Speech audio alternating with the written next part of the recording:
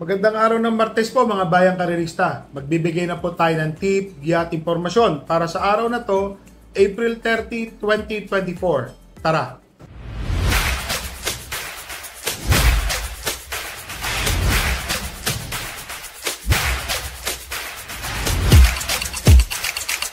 So mga bayang karerista, ito pong araw ng Martes, puro GBT po ang magsisitakbo. Meron pong hinandang 7 races po, puro GBT. Ito po. Karamihan po is 4 runners. Meron pong 6. Ito po yung sa race number 7.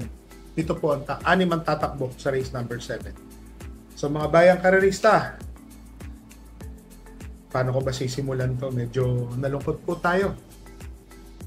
Ayun nga, talagang malungkot. Malungkot po ang nangyari. Masayang malungkot. Sa pagkakapanaw po ni Don't Stop Believing, nanalo po siya. Kala natin walang problema. Yung pala, balikan. Nabuwal. So mamaya po, ikikwento ko po sa inyo. Magla-live po tayo mamayang hapon. Mamayang gabi, alas 7.30 ng gabi po ah So, yun po, magbigay po muna tayo ng tip, at informasyon. So, dito po sa race number 1, first choice po, entry number 2, runway 10. Matuling kabayo po ito. Baka wala na pong makadikit dito. Tingin ko, kaya na pong tapusin ni runway 10. Naglagay po akong panigundo. Ito pong entry number 4 na si Grand, Grand Laughter. Ang ganda po kasi ng tinapos po nung nakaraan nito. Mainam po ito si Grand Laughter. Dito po, sinasali ko po si Doña Chichay, eh kulang po sa araw. Dapat pala 10 days po sa GBT. At least 10 days kang hindi sumali or bago nung nakaraan. Eh, dito po napunta sa GBT 11 si Doña Chichay po. So, dito po sa race number 1, first choice po entry number 2, runway 10. Second choice po entry number 4, Grand Laughter. So, dito na tayo sa race number 2, mga bayang karerista mm, sosolohin ko po ito, entry number 2, Dreams of the World. Opo, ito po kasing Dreams of the World, nanalo po ito dati ng Dihadong Dihado. So, naiinaman po ako sa mga tinatakbo nito at saka pinapakita nito. So, sa tingin ko po, malaking malaki po ang panalo nito. Si Dreams of the World, solo ko po ito, entry number 2. Dito na po tayo, race number 3 po, mga bayang karerista. Sosolohin ko na rin po ito, entry number 3 na si Don Pedro. So, nanalo po ito. Ito po yung tumalo nung nakaraan si Don't Stop Believing po, tinalo ni Don Pedro. So, marami pong malalakas doon. And then, tumakbo po ito ng pangalawang takbo. 1.29 naman din po ang tinabo. So, consistent po, maganda po ang tempo nito. So, sosolohin ko na rin po ito, entry number 3. Race number 3, entry number 3, Don Pedro. So, dito na tayo sa race number 4 po, mga bayang karerista, 4 runners po. First choice po, entry number 2, Little Annie. Matuling kabayo po ito, mga bayang karerista. Baka mahirapan na po silang sumunod dito.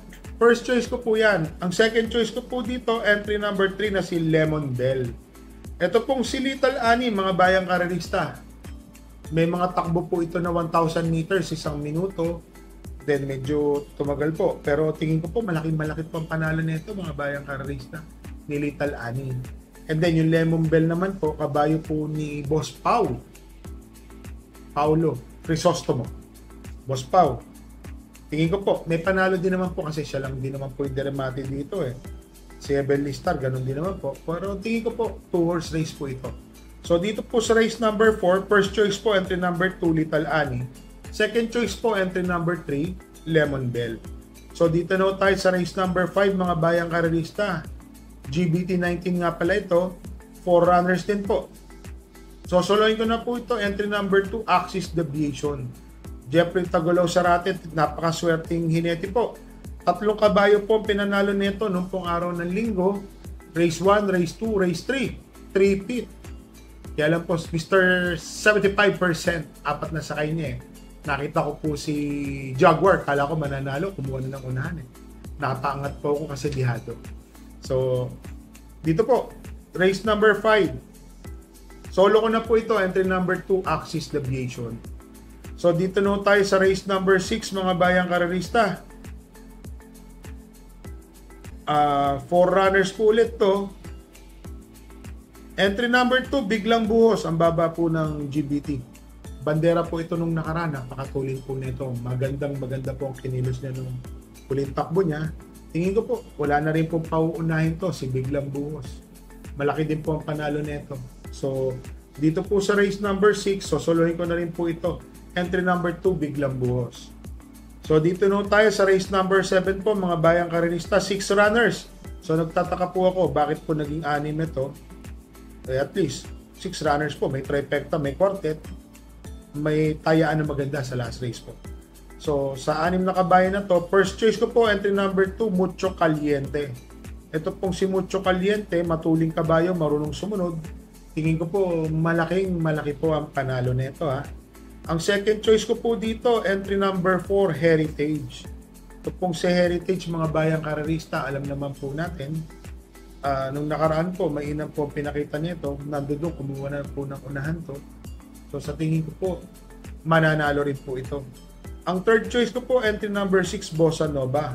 Huwag lang po ito magpapaiwan mga bayang karerista. Isa po ito sa makakalaban po nila.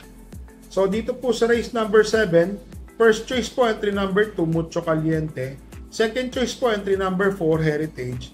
Third choice po entry number 6, Bossa Nova. So mga bayang karerista, ito po, kwento ko lang po ulit yung nangyari po kay Don't Stop Believin' Ang ginangyari po kay Don't Stop Believin', tumawid po ng finish line, nanalo po siya. Napakainam po ng ginawa. Kung sasabihin po natin na yung iba, sasabihin, hirap na yung kabayo. Hindi ho. Masyado marami pa ho yung kabayo nung tumapos po. Kung makikita niyo po yung kamot niya, gusto-gusto pa ho niya tumakbo. Yun nga lang, ganun pala talaga. Hanggang doon na lang po si Don't Stop Believin'. Bakit ho? Nakakausap ko po yung hinete natin through phone kanina, si Albert Serios, na-explain niya, lang nalungkot din siya. Yung trainer ko, isa rin po siya nalungkot. Kahit ako po, inyong lingkod na bigla. Kasi despite na may joy, may sad, may sadness. Pagkakapanalo po, tinawag po sa ano po, ng tawag doon, ng pilra ko, ng Malbar, yung trainer natin, nabuwal pala So na kwento po sa akin ni Albert Serios yung nangyari. Maraming marami. Yun lang no. Talagang napansin niya ayaw na ho pumihit ng kabayo eh. Inalalaya niya, tinakbo niya para ma-cool down. Bigla na lang po tumumba si Don't Stop Believing. So siya po yung unang naka, nakasak, sakasakay. Siyempre po, siya po yung ano. Pero maganda naman po ang binigay sa ating alaala ni Don't Stop Believing po mga bayang karerista I think 15 wins po ang ginawa po ni Don't Stop Believin. Tapos maraming segundo po yan. Parang hindi po ako magkamali, hindi po bababa na 10 ang segundo niyan. Ang tersero niyan, mga siguro po mga nasa 6 hanggang 8 ang tersero niyan. So, yun nga lang po, marami pa sanang bibigay sa ating panalo. Si Don't Stop Believin, marami pang mapapasaya. Pero sana po, ang magiging shoutout ko lang po sa inyo mga bayang karerista, Di sana po nagsitama po kayo nung huling takbo ni Don't Stop Believin, nanalo po siya. At sana po marami pong napasaya dahil kahit na ano po ang tignan nyo, maganda pa rin naman ho ang naging dividendo ng double, winner take all, pick 6, pick 5. Kahit llamado po si Don't Stop, ang dami pong bumenta doon. Ganun lang po, hanggang doon lang po ang buhay ng kabayo natin.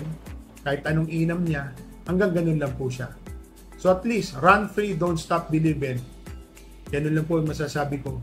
Na sana po mga bayang karerista, lagi po natin tatandaan.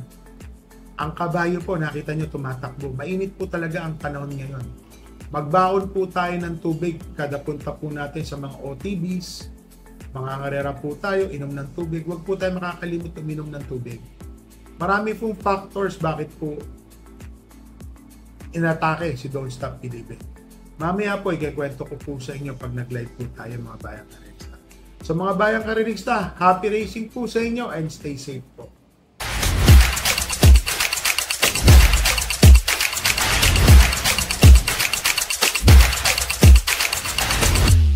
Don't stop believing, run free and may you rest in peace.